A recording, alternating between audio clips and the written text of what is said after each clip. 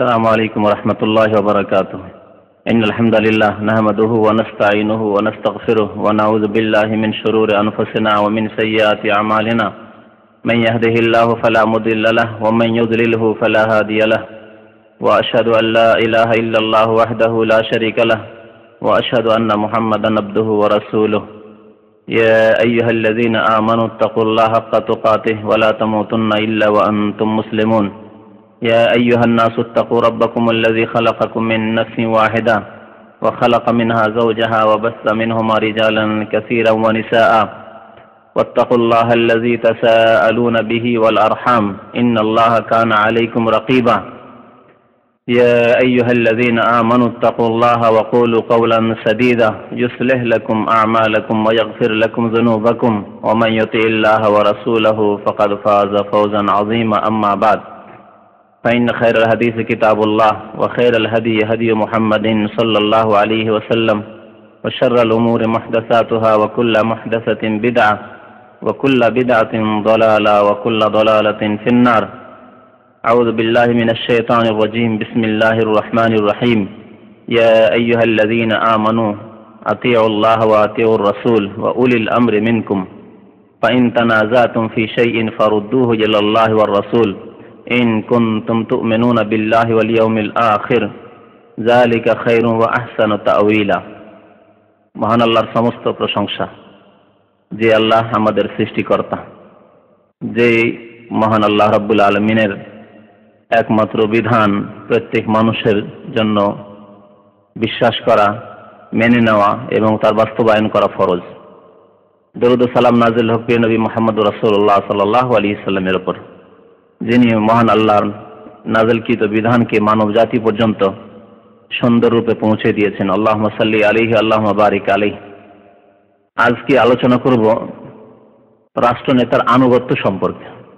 এ সম্পর্কে কোরআন এবং হাদিস কি বলে? রাষ্ট্রনেতা যাদেরকে আল্লাহ নেতৃত্ব দান করেছেন, তাদের আনুগত্য কতদূর পর্যন্ত করা যাবে? আর কখন আনুগত্য করতে হবে না? আর এই আনুগত্যের গুরুত্ব কত এ সম্পর্কে সংক্ষেপে আলোচনা করব এক দুটি হাদিস দিয়ে। তারপরে গত সপ্তাহ বা তার আগের বেশ প্রশ্ন ছিল, যে প্রশ্নগুলি থেকে গেছে, সে প্রশ্নগুলিকে আজকে শেষ করব উত্তর দিয়ে, ইনশাআল্লাহ তালা মহান আল্লাহ রব্বুল আলমিন সুরান নিসার আয়াত নম্বর উনষাট এই আয়াতের ইরশাদ করেছেন, ইয়া আ মানু হে ইমানদার মানুষেরা আতি আল্লাহ ও আতিউর রাসূল। তোমরা আল্লাহর আনুগত্য করো এবং রাসূলের আনুগত্য করো। উলিল আমরে মিনকুম এবং তোমাদের মধ্য থেকে যারা নেতৃস্থানীয় যাদেরকে আল্লাহ নেতৃত্ব দান করেছেন, তাদের আনুগত্য করো। এখানে আল্লাহ রাবুল আলমিন আল্লাহর আনুগত্যকে পৃথক করে বর্ণনা করেছেন প্রথম, আতিউল্লাহ। তারপরে রসুল্লাহ সাল্লামের আনুগত্যকে আল্লাহ পৃথক করে বর্ণনা করেছেন ও আতিউর রসুল। আবার আতিউ শব্দকে পুনরাবৃত্তি করেছেন। এমনটা করেনি যে আতিউল্লাহ ও রসুল্লাহ যেমন অন্য আয়ত রয়েছে অমাইয়তি আল্লাহ ও রাসুল্লাহ যারা আল্লাহ এবং রসুলের আনুগত্য করল একসাথে। মানে এটা আত শব্দটি, আনুগত্য শব্দটি একবার করে এসছে অন্য আয়াতে। কিন্তু এখানে আল্লাহ রবুল আলমিন আল্লাহর ক্ষেত্রে একবার এবং রসুলের ক্ষেত্রে আরেকবার উল্লেখ করেছেন। আতিউল্লাহ আল্লাহর আনুগত্য করো তোমরা। ও আতিউর রাসুল এবং রাসুলের আনুগত্য করো তোমরা। ওয়া উলিল আমরে মিনকুম। আর তৃতীয়, যখন আল্লাহ বর্ণনা করেছেন যে তোমাদের নেত্রী স্থানীয় যারা, তাদের আনুগত্য করো, তখন আর আতিও নিয়ে আসেননি। তখন আর কথা বলেন যে ওয়াতি উলিল আমরে মিনকুম কথা বলেননি। ওয়া এবং বলে আল্লাহ রবুল আলমিন বর্ণনা করে দিয়েছেন। এর একটা রহস্য রহস্য আছে। এই রহস্যটি আগে বলি। আল্লাহর আনুগত্য করতে হবে। এবং আল্লাহ রবুল আলম আনুগত্য কোরআনের বিধান রসুল্লাহ ইসলামের হাদিসের বিধান সব কিছুকে সামিল। কারণ কোরআনে পাক হচ্ছে আল্লাহর বাণী, আর রসুল্লাহ হাদিসগুলিও হচ্ছে ওয়াহি, যদিও নবী করিম সাল্লাহ ইসলামের বাণী, কিন্তু সেগুলি ওয়াহি। সুতরাং কোরআন এবং সন্ন্যার পুরোপুরি বাস্তবায়ন হচ্ছে আল্লাহর আনুগত্য করা। রসুল্লাহ সাল্লামের আনুগত্যের ক্ষেত্রে আত্মীয় শব্দ আল্লাহ আবার নিয়ে এসেছেন এই জন্য যে আল্লাহর কথাগুলি, অর্থাৎ কোরআনে করিমের কথাগুলি মেনে নিয়ে শুধু যদি মনে করে যে রসুলের আনুগত্য করলাম, যথেষ্ট নয়। যেমন আহলে কোরআন একটি গোমরা দল রয়েছে। পাকিস্তানে এদের উদ্ভব ঘটেছে, জন্ম হয়েছে। আর ভারত, বাংলাদেশেও এর ছড়াছড়ি রয়েছে কিছু। তারা বলে, কোরআনে আছে তা মানি। কোরআনে আছে তাই মানি। হাদিস, কি জানি হাদিস কি না কি? হাদিস মানে না তারা। হাদিস না মানলে নামাজ পড়তে পারবে না, রোজা রাখতে পারবে না, কোনো কিছুই করতে পারবে না এক কথায়।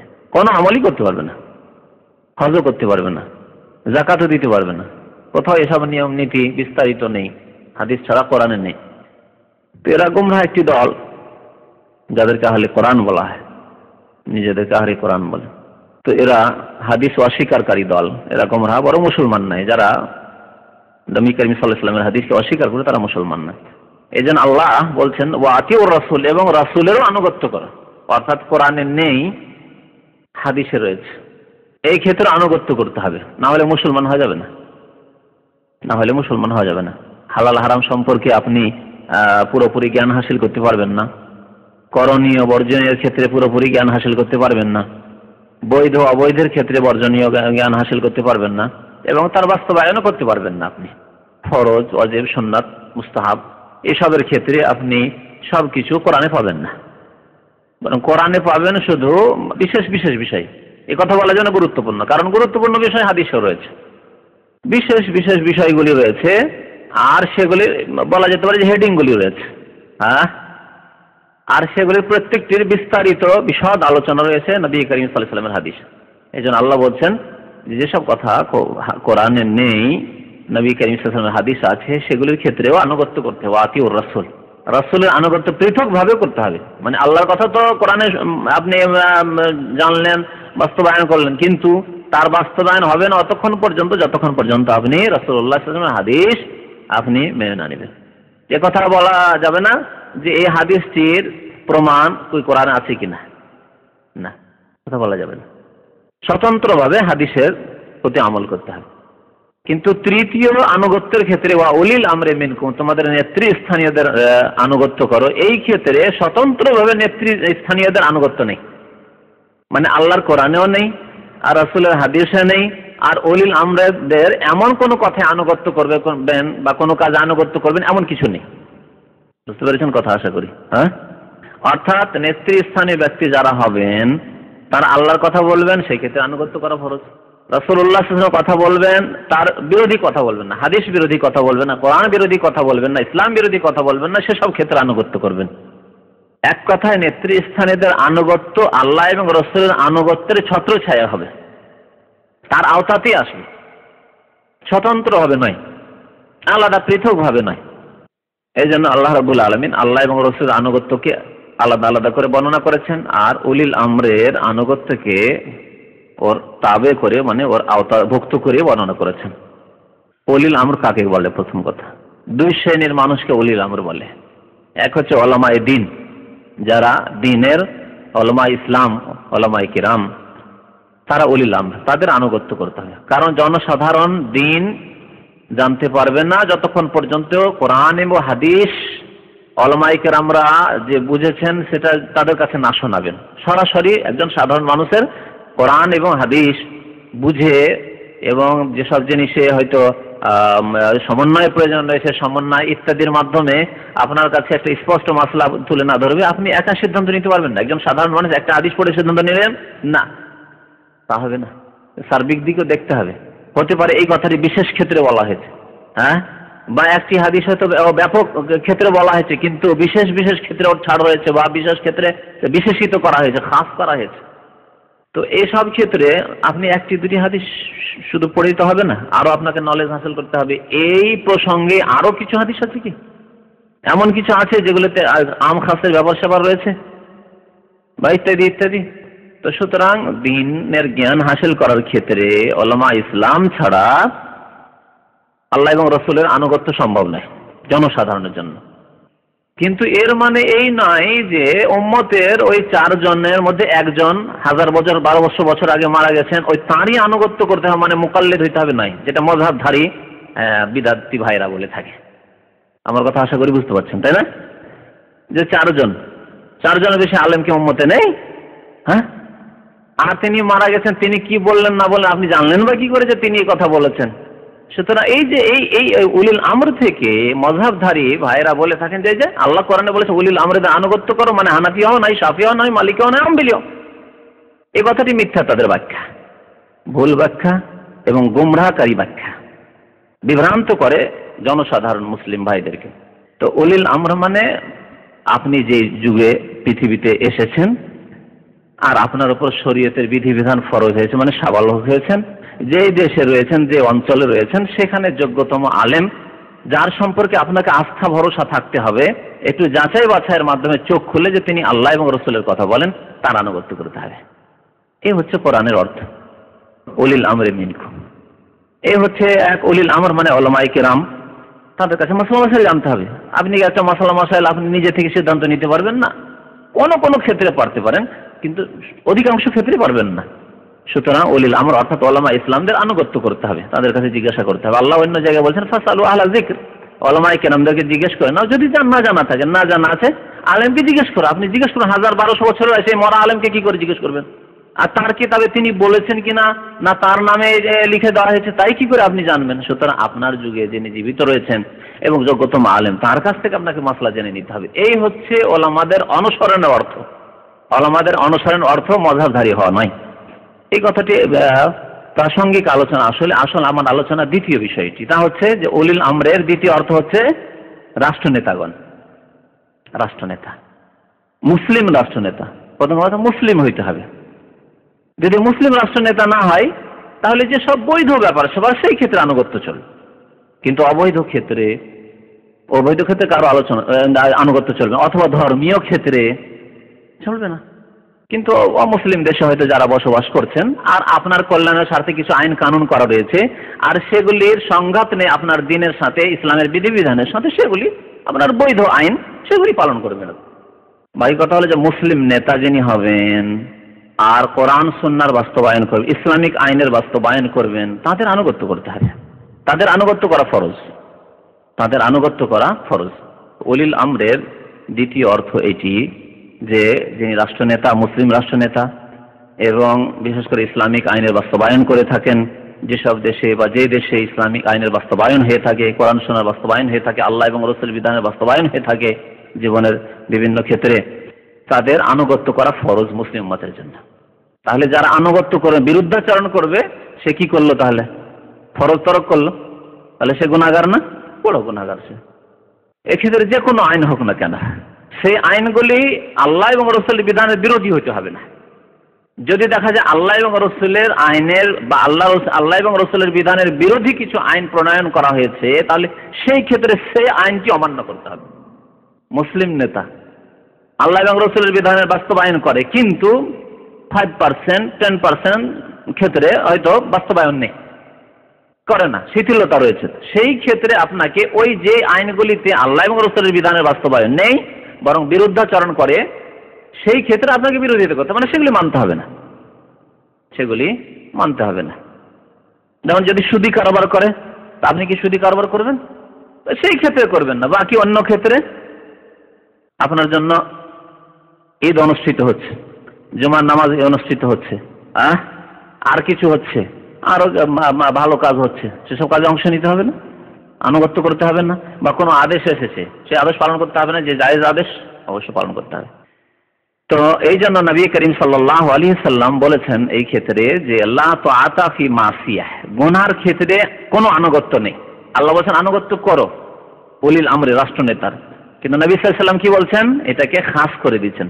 তাহলে শুধু একটি আয়াত দিয়ে কাজ চলবে? আনুগত্য করো। এখানে কোরআনে তো বলা হয়নি, কতদূর পর্যন্ত আনুগত্য করবেন? আর কোনখানে গিয়ে স্টপ হয়ে যাবেন না, আর আনুগত্য করা যাবে না। নবী সাল্লাম বলছেন, লা তো আতাফি মাসিয়া। গোনার ক্ষেত্রে আনুগত্য নেই। যদি আপনাকে গোনা করতে বাধ্য করা হয়, আপনি সেখানে যাবেন না। যথাসাধ্য বাঁচার চেষ্টা করবেন। একেবারে অগতির গতি না, উপায় নেই, তাহলে করবেন। যেমন আপনি হজ করবেন। আজ হজ করার জন্য একটা পাসপোর্ট করতে হবে। পাসপোর্ট করলে আপনাকে ছবি করতে হবে। সেই ক্ষেত্রে বাধ্য। কিন্তু যদি বাধ্য না হন, আপনি করবেন না। বাধ্য না হন, করবেন না। যেমন যদি আপনার রাষ্ট্রনেতা মনে করেন যে, ধরেন একটা উদাহরণ দিয়ে বলছি। আপনাকে বলছে যে, প্রধানমন্ত্রী যে আছে, তার ছবি তোমাদের ঘরে ঘরে রাখতে হবে। হ্যাঁ তোমাদের অফিস অফিসে রাখতে হবে, যদি বলে। তা আপনি কি করবেন এই ক্ষেত্রে? রাখবেন না, আনুগত্য করবেন না। লাফি মাসে, গুনার ক্ষেত্রে কোনো আনুগত্য নেই। তবে যদি দেখে একেবারে বাধ্য করছে, না হলে আপনার জীবনটা যাবে, সেই ক্ষেত্রে হয়তো একটা জায়েজের পর্যায়ে আসবে। কিন্তু না, এমনি সাধারণ ক্ষেত্রে এটা আদেশ আছে যে তোমরা কি করো, রাষ্ট্রপতি বা প্রধানমন্ত্রীর? অথবা যিনি বাংলা বঙ্গবন্ধু বা অমুক আর তমক, তার ছবি তোমরা ঘরে ঘরে অফিস অফিসে রাখো। না নেই লা তো আতা কিংবা আসিয়া নবী বলছেন গোনার ক্ষেত্রে আনুগত্য নেই। ইন্নামা তোয়াতফিল মারুফ। আনুগত্য করতে হবে মারুফ কাজে মানে ভালো কাজ। ভালো কাজ। ভালো কাজের শেষ পর্যায়ে হচ্ছে জায়েজ কাজ। ভালো কাজ হচ্ছে ফরজ কাজ, ওয়াজেব সন্ন্যত কাজ, মুস্তাহাব কাজ। তারপরে শেষ পর্যায়ে বা নিম্ন পর্যায়ের ভালো কাজ হচ্ছে জায়েজ কাজ। জায়েজ কাজ। এই ক্ষেত্রে আনুগত্য করতে হবে। হাদিসটি মুস্তাফাক আলাই বোখারি মুসলিমের হাদিস। ওবাদাবিন সামেদ রাজি আল্লাহ তালানহর হাদিস রয়েছে যে, আমরা রাসুল্লাহ সাল্লামের কাছে শপথ করেছিলাম। কিসের? যে আমরা শুনব এবং আনুগত্য করব। সামা এবং তা বায়ান রাসুল আল্লাহ আল্লাহ সামে তা আমরা আল্লাহ রসুল সাল্লামের সাথে আমরা বায়াত করেছি। বায়াত মানে শপথ। আমাদের দেশে বায়াত হয় বিদাতি বায়াত মানে পীর মরিদের বায়াত। আর ইসলামিক বায়াত হচ্ছে রাষ্ট্রনেতার বায়াত, শপথ। রাষ্ট্রনেতা যিনি ইসলামের বাস্তবায়ন করবেন, তার হাত শক্ত করতে হবে। তার হাত দুর্বল করা যাবে না এবং তার সাথে প্রতিশ্রুত হইতে হবে। প্রতিশ্রুতি দিতে হবে যে আপনার আনুগত্য করব, আমরা যথাসাধ্য আপনার হেল্প করব, আপনার সাথে সাহায্য সহযোগিতা করব এবং দেশকে শক্তিশালী করব। আপনার আইন বাস্তবায়নের জন্য সার্বিক আমরা সহযোগিতা করব। এ হচ্ছে শপথ, এর ওপর রাষ্ট্রনেতার সাথে শপথ করতে হবে ফিল ওসরে ওয়াল ইউসরে, বিভিন্ন ক্ষেত্রের কথা নবী সাল্লাহ সাল্লাম বলেছেন। কি বলছেন? ওবাদ আবিন সামাদ আল্লাহ রসুলের সাথে বায়াত করেছি আমরা, যে আমরা শুনব সামা মানে শোনা, শুনব, নেতার কথা শুনব। আর কি? আত্মা মেনে নেব। কারণ অনেক সময় শুনে আবার মানা হয় না। শুনলেন আর আর কান দিয়ে বের করে দিলেন। শুনে, যা, ঠিক না? না, শুনব এবং মানবো। যেমন আপনার সিগন্যাল রেড রয়েছে। এদিক সেদিক দেখলেন যে পুলিশ নেই, দিলেন টান। তাহলে দেখলেন তো, এই সোনার বিকল্প দেখা, দেখলেন কিন্তু মানলেন না, তা করলেন না, আনুগত্য করলেন না। তাহলে শুনতে হবে আর মানতে হবে। আনুগত্য মানে মানতে হবে। নবী সাল্লাহ আলি সাল্লামের সাথে আমরা শপথ করেছি কিসের? যে শুনব এবং আনুগত্য করব, মানব। কোন কোন ক্ষেত্রে ফিল ওসরে ওয়াল ইউসরে? শুধু খেয়াল খুশি হইলে নয় মন মর্জি হইলে নয় মনোপুত হইলে নয় না, ফিল ওসরে কঠিনতার সময়, সংকটের সময়, যেখানে জানের উপর কষ্ট হচ্ছে, জীবনের উপর কষ্ট হচ্ছে, স্বার্থে ব্যাঘাত ঘটছে তারপরেও, যেহেতু আদেশ হয়ে গেছে। রাষ্ট্রনেতার আদেশ হয়েছে, যদি আমার ব্যক্তি স্বার্থে ব্যাঘাত ঘটছে, আমার অর্থনীতির ক্ষেত্রে ব্যাঘাত ঘটছে, ইত্যাদি ইত্যাদি। অলিউসরে এবং সরলতার সময়। সুখের সময়, দুঃখের সময়। আর কি, ওয়াল মানসাতি ওয়াল মাকরাহে, স্বেচ্ছায়, স্বেচ্ছায়ও মানে যখন ইচ্ছা চাইছে সদিচ্ছা এখন। মানে এমন আদেশ হচ্ছে যে আদেশগুলি আমরা পছন্দ করি। হয় না? অনেক সময় রাষ্ট্রনেতার আদেশ আছে যে আদেশগুলি আমরা পছন্দ করি। তো সেই ক্ষেত্রে আনুগত্য করতে হবে। এটা তো করেই মানুষ। কিন্তু নবী হচ্ছে ওয়াল মাকরাহে আর এমন ক্ষেত্রে যেই ক্ষেত্রে অপছন্দ করা যায়। আদেশ পছন্দ হয় না। অপছন্দনীয় আদেশ। ঘৃণা হচ্ছে তার আদেশের উপর, রাষ্ট্রনেতার আদেশের উপরে। তারপরেও আনুগত্য করব আমরা, মাকরাহ। আর কি? পাঁচ নম্বরে বলছেন ও আলা আসারাতিন আলেই না আমাদের ওপর অন্যকে যখন অগ্রাধিকার দেওয়া হবে, সেই ক্ষেত্রে আনুগত্য করব। অন্যকে যখন প্রাধান্য দেওয়া হবে, তখনও আনুগত্য করব। মানে স্বজন প্রীতি করা হবে তখন। সমান সমান।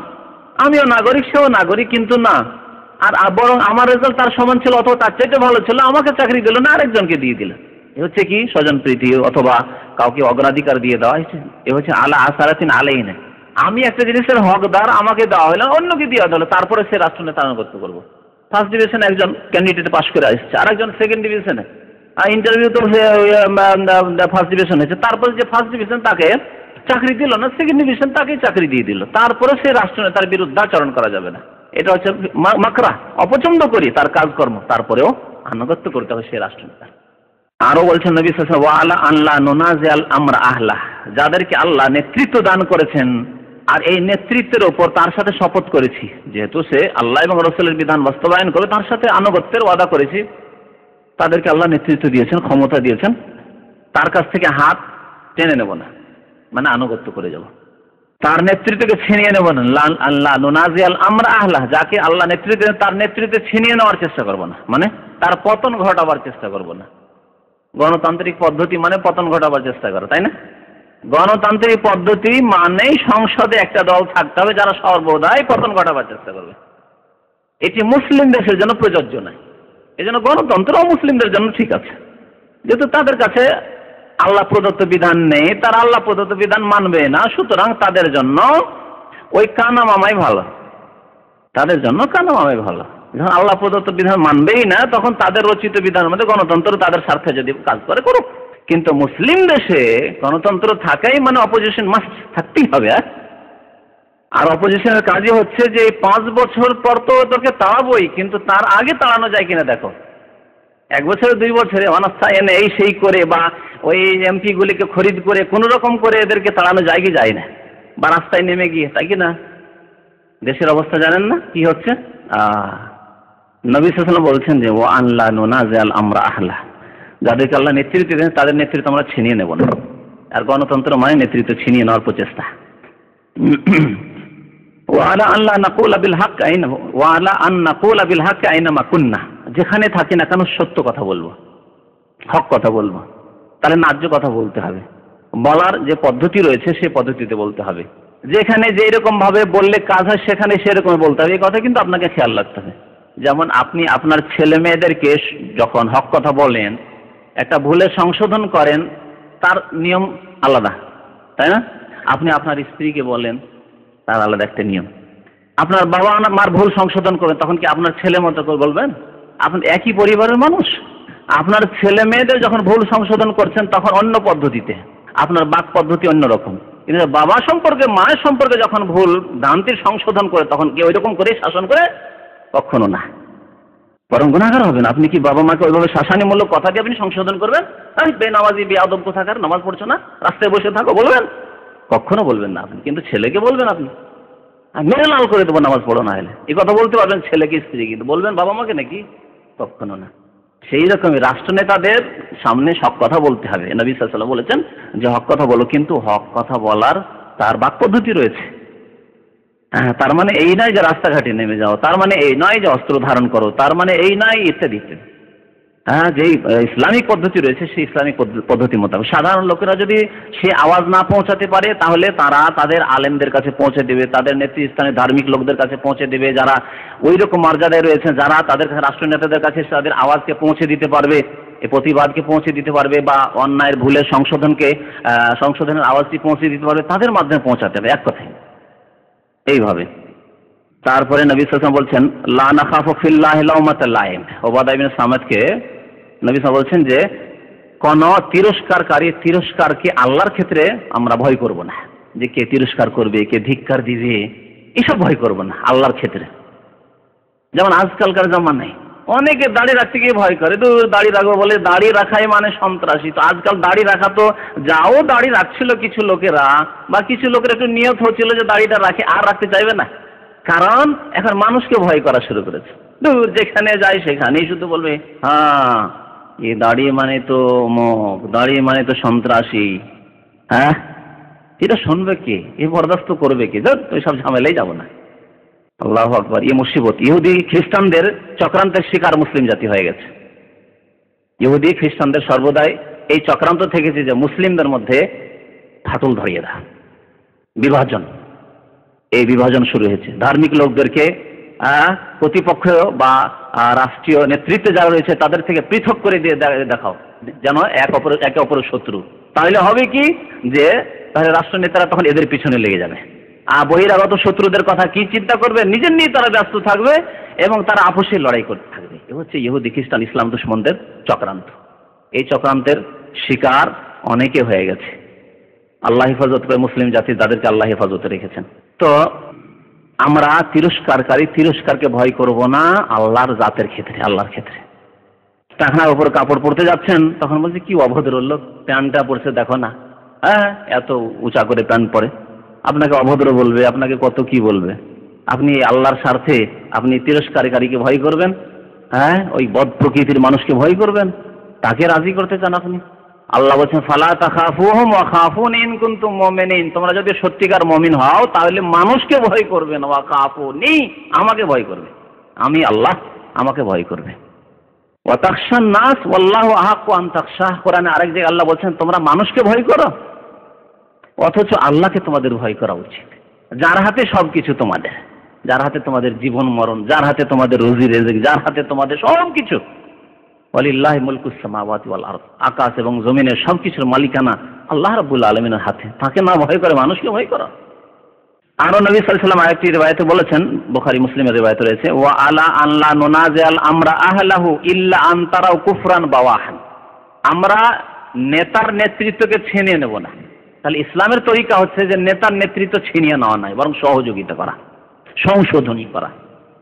ছিনিয়ে নেওয়ার চেষ্টা করা নয় যে আমি তার চাইতে যোগ্য, তার তার কাছ থেকে আমি ছিনিয়ে দেবো আমি ভালোভাবে দেশ চালাবো? না না না, এটা ইসলামিক তরিকা না। ইসলামের তরিকা হচ্ছে তা সংশোধন করো, যদি ভুল থাকে সংশোধন করো। এই ক্ষেত্রে সংশোধনের জন্য বিশ্বাস বলে সৎ পরামর্শ দাও। হিতাকাঙ্ক্ষী হও, নসিহত কর, আর দিন উন্নসিহা মুসলিম শরীফের হাদিস বলেছেন, দিন ধর্ম হচ্ছে কি? নসিহতের নাম, উপদেশ দানের না হিতাকাঙ্ক্ষী হওয়ার না। আর হিতাকাঙ্ক্ষী কে? যে তার কল্যাণ কামনা করে উপদেশ দেবে, যে এইরকম কাজ করেন, তাহলে আপনার ভালো হবে। দেশের ভালো হবে, আপনার ভালো হবে, আপনার জাতির ভালো হবে হ্যাঁ? ইসলামের ভালো হবে, এইভাবে। এটা হচ্ছে উপদেশ। এ হচ্ছে নসিহত।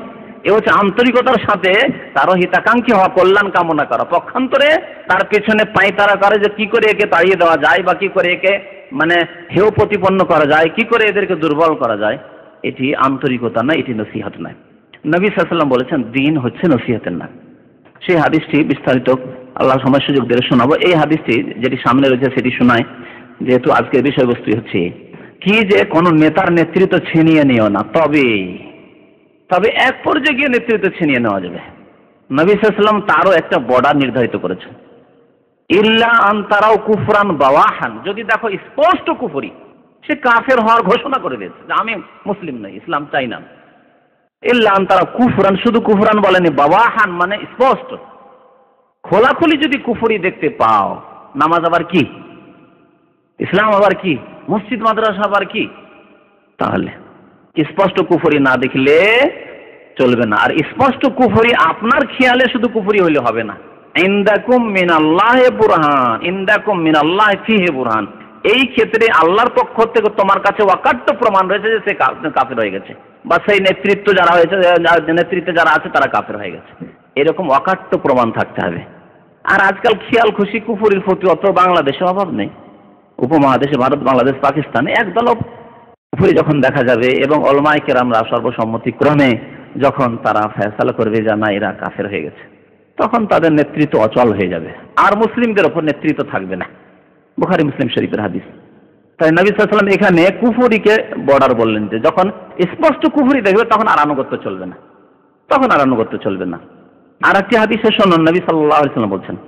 আউফির মালিক আফজাই রাজি আল্লাহ তাআলা বলছেন, খেয়ারু আইম্মাতুকুম আল্লাযিনা তুহিব্বুনা ওয়া ইহিব্বুনাকুম। তোমাদের মধ্যে শ্রেষ্ঠ নেতা কারা?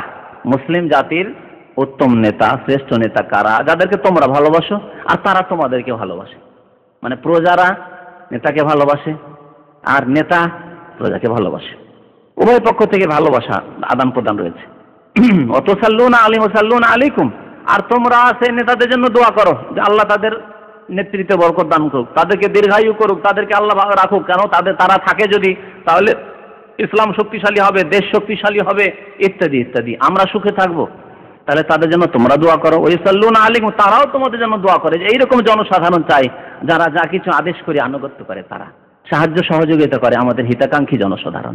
এরা হলো ভালো নেতা। খারাপ নেতা কারা? সেরারও আইম্মাতে কম তোমাদের জঘন্য নেতা কারা, খারাপ নেতা কারা? আল্লাদিন তুবগুয়েজন যাদেরকে তোমরা ঘৃণা করো। অযুবগুয়েজন তোমাদেরকে তারা ঘৃণা করে। জনসাধারণকে রাষ্ট্রনেতারা দেখতে চায় না, আর রাষ্ট্রনেতাদেরকে জনসাধারণ দেখতে চায় না। এইরকম যারা। আর কি অতাল আনুন আহমাইয়া লানু নাকুম তোমরা তাদের উপর অভিশাপ করো যে ধ্বংস হোক সরকার। হ্যাঁ? আর সরকার বলছি জাতিকে চায় না জাতির দরকার নেই আমার। ধ্বংস হোক জাতি। তাহলে জাতির দুশ্মন হচ্ছে সরকার আর সরকার দুশ্মন হচ্ছে জাতি। এই নেতারাই হচ্ছে খারাপ নেতা। তারা করলাম রাসুল আল্লাহ যদি এইরকম খারাপ নেতা হয়, তাহলে আমরা কি করব? সাহাবারা বলছে, আফালা নোনাবেল ইন্দাজালেক এই সময় কি আমরা তরবারি দিয়ে তাদেরকে উড়িয়ে দেবো? তাহলে এইরকমই যদি নেতা হয়, যারা আমাদের হিতাকাঙ্ক্ষী নয়, যারা খারাপ নেতা, তাদেরকে তরবারি দিয়ে সরিয়ে দেবো? নেতৃত্ব থেকে? নবী সালাম কি বলেন? না।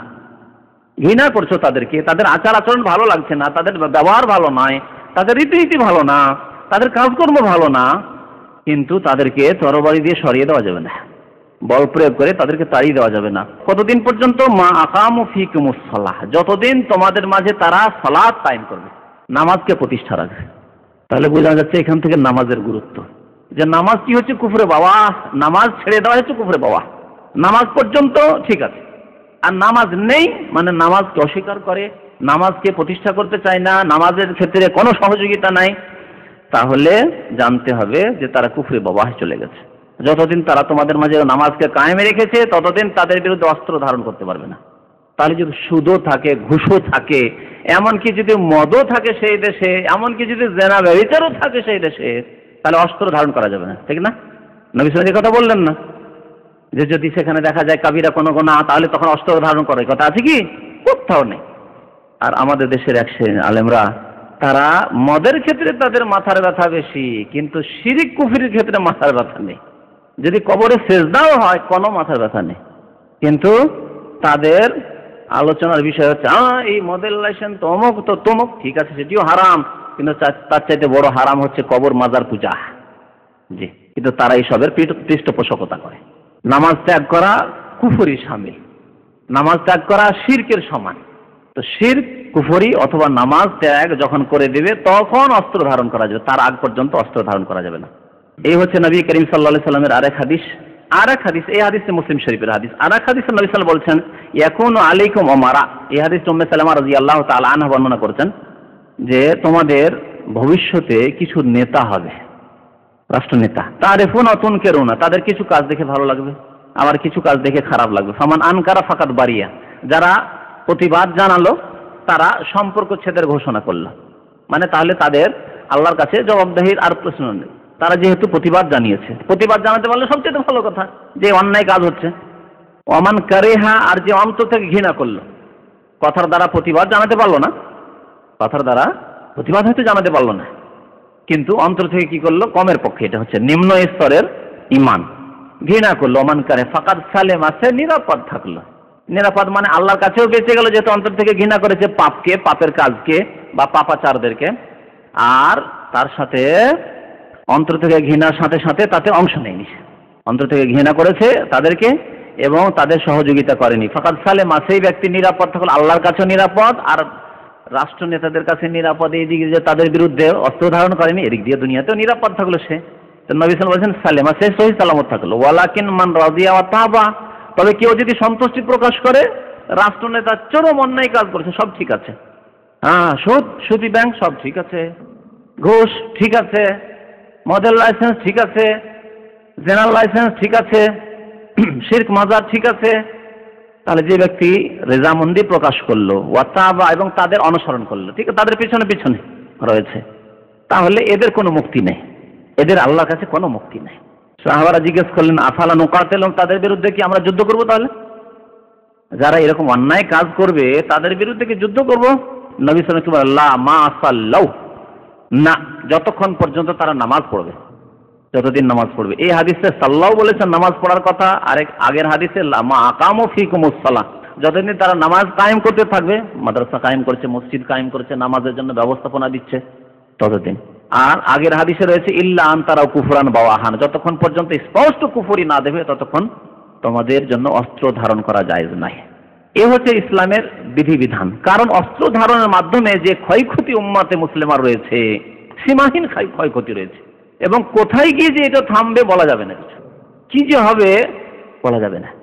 এবং এই ক্ষেত্রে যারা এইভাবে বিরুদ্ধাচরণ করল এবং অস্ত্র ধারণ করল, তারা নিজের দুনিয়াকেও ধ্বংস করল আর পরকালকে ধ্বংস করল। পরকালকে এই জন্য ধ্বংস করল যে তারা আল্লাহ এবং রসুলের বিরুদ্ধাচরণ করলে। আল্লাহ এবং রসুল সাল্লাহ আলি সাল্লাম ফাঁসেক, যদি নেতা ফাঁসেক হয়, এক মিনিট শুনেন, নেতা ফাঁসেক মানে কবিরা গুণা করে, নেতা কাফের নয়, মুসলমান নেতা, মুসলিমদের নেতা। যেমন সারা বিশ্বের নেতারা, তাদের দ্বারা অনেক পাপ হচ্ছে। ফাঁসেক নেতাও যদি হয়, তাদের বিরুদ্ধে অস্ত্র ধারণ করা, তাদেরকে ক্ষমতাচ্যুত করার জন্য প্রচেষ্টা চালানো, এগুলি ইসলামে জায়েজ নাই এর মাধ্যমে যে ক্ষয়ক্ষতি হচ্ছে মুসলিম জাতির, সেটি আপনাদের সামনে অস্পষ্ট নেই সবকিছু আপনারা দেখতে পাচ্ছেন। আজকে কি অশান্তি বিরাজ করছে আলজেরিয়ায়? কি অশান্তি বিরাজ করছে বিভিন্ন মুসলিম দেশে? সুতরাং আল্লাহ এবং রসুলের হৃদায়ত হচ্ছে সাম এবং তা সন এবং আনুগত্য করা। যতক্ষণ পর্যন্ত স্পষ্ট কুফুরি না দেখবে। আর স্পষ্ট কুফুরি যদি থাকে, তখনও দেখতে হবে যে আমাদের কি এরকম কোনো ক্ষমতা আছে যার দ্বারা স্পষ্ট কুফুরিকে দূর করতে পারব? যদি দূর করার মতো সম্ভাবনা থাকে, তাহলে তখনই রয়েছে। আর যারা এই দুই চারজন লোক একটু শিক্ষা দীক্ষাও তাদের নেই। আজকাল পৃথিবীতে মুসলিম দেশগুলিতে যারা এই বিপর্যয় ঘটাচ্ছে, ফেতনা, ফাসাদ সৃষ্টি করছে, তারা ইসলামী শিক্ষায় শিক্ষিত নয়, একটি কথা মনে রাখে। এদের হয়তো দাঁড়িয়ে আছে। দাড়ি পাবেন এদের। এরা একটু ধার্মিকতা অবলম্বন করেছে। ইসলাম সম্পর্কে সামান্য একটু জ্ঞান হয়েছে, তখন ইসলামকে ভালোবাসে, আল্লাহ রসুলকে ভালোবাসে, দাড়িটা হয়তো রেখে দিয়েছে। কিন্তু এদের পড়াশোনা মাধ্যমিকের নিচে আছে তার উপরে পড়াশোনা নেই এদের। এরা ভালো কোনো আলেম নয়, কেউ নয়, যে কোনো দেশের কথা নেন। আজকে যে বাংলাদেশের অবস্থা বা যে কোনো দেশের অবস্থা বা এখানকার অবস্থা, তাতে দেখতে পাবেন যে যারা এসব কাজের সাথে, এই ফিতনা, ফাসাদের সাথে জড়িত, তারা কেউ কোরআন এবং হাদিসের সঠিক এলেম রাখে না। এদের পড়াশোনা ওই সাত, আট ক্লাস থেকে শুরু করে দশ ক্লাসের নিচে রয়েছে। এরা ইসলাম সম্পর্কে সঠিক জ্ঞান রাখে না। আর এরা যারা অলমাই কেরাম ইসলাম সম্পর্কে সঠিক জ্ঞান রাখেন, তাদের কাছে তারা জিজ্ঞাসা করে না। তাদের পরামর্শ নেয় না। বরং তাদেরকে উপেক্ষা করে হেও প্রতিপন্ন করে। তাদেরকে মনে করে যে এরা ফাঁসেক হয়ে গেছে। এই জালেমদের নেতৃত্ব কবুল করে। জালেমদের বিরুদ্ধে এরা কথা বলছে না, বেরোচ্ছে না এই জন্য এরা ফাঁসে কি? এমনকি এরা কাফের হয়ে গেছে কুপুরির ফতো দিচ্ছে। আজকে এইরকম এক চরমপন্থী জেনারেশন মুসলিম দেশগুলিতে জন্ম লাভ করেছে। এদের থেকে সতর্ক থাকতে হবে। আপনারা এখান থেকে ইসলাম শিখে যাচ্ছেন। কিন্তু তার মানে এই নয় যে সঠিক ইসলাম শিখে যাওয়ার পরে আর ধার্মিক হওয়ার মানে এই নয় যে সন্ত্রাসী কাজ করা, ফেতনা, ফাসাদ সৃষ্টি করা, আর ফাসেক নেতাদের বিরুদ্ধে অস্ত্র ধারণ করা, আর বোমাবাজি করা আর অস্ত্র ব্যবহার, এই সবগুলি জায়েজ নাই। আপনাকে আল্লাহ যতটা শক্তি দিয়েছেন, ততটা কাজ করুন। আপনাকে আল্লাহ জিজ্ঞেস করবেন, আপনার ব্যক্তি জীবন সম্পর্কে প্রথম জিজ্ঞেস করবেন। তারপরে জিজ্ঞেস করবেন, আল্লাহ রব্বুল্লাহ আপনাকে আপনার পারিবারিক জীবন সম্পর্কে। আপনি আপনার স্ত্রীর পর্দা করতে পারেন না, আপনার বড় বড় সমস্যা নিয়ে চিন্তা করেন। আপনার সাবালক ছেলে, পনেরো বছরের ছেলেকে নামাজ পড়াতে পারেন আর রাষ্ট্রনীতি সমালোচনা করেন। এ হচ্ছে মুসলিমদের অবস্থা। আপনার অর্থনীতি ঠিক নেই, আপনার রেজে কোথা থেকে আসছে, এই ঠিক নেই। আর আপনি চিন্তা করেন অন্যের কথা। বড় বড় সমস্যা নিয়ে আপনি কল্পনা জল্পনা করেন যে আমি এই করব, সেই করব। এতেই মুসলিম জাতির পতন নেমে এসেছে। এবং ইসলামের শত্রুরা সর্বাত্মক চেষ্টা চালিয়ে যাচ্ছে যে মুসলিম জাতিকে লড়াই দেওয়া পোষে এদের জনসাধারণকে বা বিশেষ করে এদের ধার্মিকদেরকে এদের নেতাদের বিরুদ্ধে করে দাও। আর এমন ভাবে লড়ে দাও নেতাদের মনে মগজে আরও বেশি ঢুকিয়ে দাও যে ইসলাম মানেই সন্ত্রাসী আর ইসলামপন্থী হয় একটু দাড়ি রাখাই মানে ইসলামের আমাদের দুশ্মনের আমাদের শত্রু। আর তখন যেখানেই দেখো এই আহ, মার্কা মারাদেরকে খুঁজো অবস্থা। এই ষড়যন্ত্রের শিকার হতে যাচ্ছে মুসলিম জাতিরা। সুতরাং সতর্ক যেমন সতর্ক হইতে হবে নেতৃ স্থানীয় ব্যক্তিদেরকে তেমন সতর্ক হইতে হবে মুসলিম জাতিদেরকে। আর বিশেষ করে যারা আমরা দিন শিখছি, সঠিক দিন শিখ- সুস্থ মস্তিষ্কে যে কোনো সিদ্ধান্ত নিতে হবে। আর আপনি আপনার ব্যক্তি জীবন থেকে আল্লাহর রাস্তায় শুরু করুন, আপনার পারিবারিক জীবন থেকে আপনার দিনের দাওয়াতের কাজ শুরু করুন, আপনার ব্যক্তি জীবনকে সুন্দর করুন, পাঁচ অক্ট নামাজ কায়েম করুন, এখনও ফজর নামাজে যেতে পারেন আর বড় বড় কথা। এই রে হুকুমতে এলাহে কায়েম করবে, আর একামতে দিন করবে একামতে দিনের জন্য যারা চিৎকার করে তারা ফজর নামাজ পড়তে পারে না। একামতে দিন মানে আগে নিজের নাফসের ওপরে একামতে দিন করতে হবে না। তো একামতে দিন করবেন আল্লাহ আপনি নিজের নাফসের ওপরে ব্যক্তি জীবনের উপরে একামতে দিন করুন। আর তারপরে আপনার পরিবারের ওপরে একামতে দিন করুন। আর তারপরে আপনার গ্রামবাসীর উপরে একামতে দিন করুন। আর তারপরে আপনি চিন্তা ভাবনা করবেন, আর শুধু আপনি সমালোচনা করতে থাকবেন, আর আপনিও একটু নিরাপদ থেকে যাবেন। সুতরাং মনে রাখবেন যে নবী করিম সাল্লাহ ইসলামের হৃদায়ত পথ নির্দেশনা হচ্ছে যে জালেম রাষ্ট্রনেতাদের ক্ষেত্রে আমাদেরকে সবর করতে হবে। নবী ধৈর্য ধরতে বলেছেন। এবং এই ক্ষেত্রে আমাদেরকে শুনতে হবে, তাদের কথা আনুগত্য করতে হবে। আর তাদের বিরুদ্ধাচরণ করা যাবে না, যতক্ষণ পর্যন্ত স্পষ্ট কুফরি আমরা না দেখব। আলহামদুলিল্লাহ, বিশেষ করে এই দেশে সৌদি আরবে কোরআন, সুন্নার বাস্তবায়ন রয়েছে। জুলুম তো দূরের কথা, কুফরি তো দূরের কথা, আর ফাসিকি তো দূরের কথা, বরং আলহামদুলিল্লাহ এখানে সার- সর্ব পর্যায়ে, মোটামুটি বলা যেতে পারে, যে সর্বপর্যায়ে কোরআন এবং সুন্দর বাস্তবায়ন রয়েছে। আজকে এখানে ইসলামিক আদালতে, প্রত্যেকটি শহর ইসলামিক আদালত রয়েছে। এবং প্রত্যেকটি ইসলামিক আদালতে যারা কাজী হন, তারা এই নয় যে ও পশ্চিমা ল পড়ে এসেছেন। আজকে নিজের দেশের সাথে একটু তুলনামূলক আলোচনা করে দেখুন কম্পিটিটিভ আলোচনা করে দেখুন যে আপনার দেশে একজন উকিল হলে আর একজন হাকিম হলে কি পড়ে আসতে হয়? ব্রিটিশ ল পড়ে আসতে হয়। আর ওই ওই যে কমিউনিস্টের ল পড়ে আসতে হয়। আর ইসলাম সম্পর্কে জিরো থাকে সে কিছুই জানে না। এ হচ্ছে হাকিম আর জজ প্রধান বিচারপতি। আর আলহামদুলিল্লাহ এখানে প্রত্যেক কাজই আলেমে দিন হয়। ইসলামিক বিশ্ববিদ্যালয় থেকে ফারেক হয় পাশ করে আসে। ইসলামের উপর তারা মাস্টার্স এবং পিএইচডি করে আসে, তারপরে কাজী হন। এখানে আলহামদুলিল্লাহ কোরআন শোনার বাস্তবায়ন রয়েছে। সুতরাং আমাদের মগজকে সবসময় পরিষ্কার, পরিচ্ছন্ন রাখতে হবে। যে ইসলামিক রাষ্ট্রনেতা যেখানে রয়েছেন, তাদের আনুগত্য করতে হবে। এমনকি তারা যদি বাস্তবায়ন নাও করে, যেমন আমাদের দেশগুলি রয়েছে, অন্যান্য দেশ, সৌদি আরব ছাড়া অন্যান্য দেশ রয়েছে, সেই সব দেশে ইসলামী আইনের বাস্তবায়ন নেই। সেই ক্ষেত্রেও যতদূর পর্যন্ত জায়েজ রয়েছে আনুগত্য করা, ততদূর আমাদের আনুগত্য করে চলতে হবে। আর সেসব রাষ্ট্রনেতাদের বিরুদ্ধে, সরকারের বিরুদ্ধে যেসব সরকার ইসলামিক আইনের বাস্তবায়নও করে না, তাদের বিরুদ্ধে অস্ত্র ধারণ করা জায়েজ নয়। যেহেতু তার স্পষ্ট কুফরি তারা প্রকাশ করেনি। তারা নিজেরাকে বলছে মুসলিম, আমরা মুসলিম আমরা মুসলিম নেতা। তারা বলছে আমরা পারছি না। সুতরাং তাদের সম্পর্কে আল্লাহ বলছেন, যারা ইসলামিক আইনের বাস্তবায়ন করতে পারছি না বলছে, আল্লাহ বলছে তারা জালেমন ফাসেকুন, তারা কাফের না। তারা নিজেকে মুসলিম বলছে এবং তারা ঈদ কায়েম করছে, নামাজ কায়েম করছে। তারা নামাজের বিরোধিতা করে না, মসজিদের বিরোধিতা করে না। সুতরাং তাদের আনুগত্য করতে হবে, যতদূর পর্যন্ত জায়েজ রয়েছে। আর যেখানে না জায়েজ রয়েছে, সেখানে আপনাকে থেমে যেতে হবে, সেখানে আনুগত্য করতে হবে না। তো এই ছিল কিছু কথা। আনুগত্য সম্পর্কে আল্লাহ রাবুল আলমিন আমাদেরকে সঠিক দিন বোঝার এবং তার বাস্তবায়ন করার যেন তৌফিক দান করেন। আমিন। ওসল্লাহ নবীনা মোহাম্মদ ওয়াল আলহি ওসাহাবি আজমাই